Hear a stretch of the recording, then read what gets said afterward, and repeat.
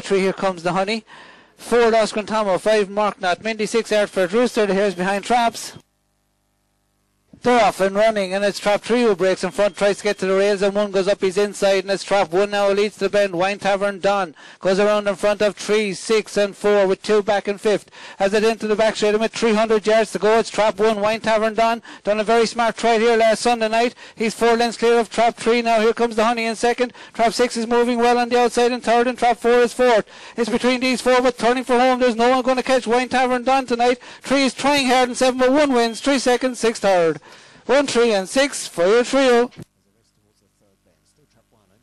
Winning time 28.67.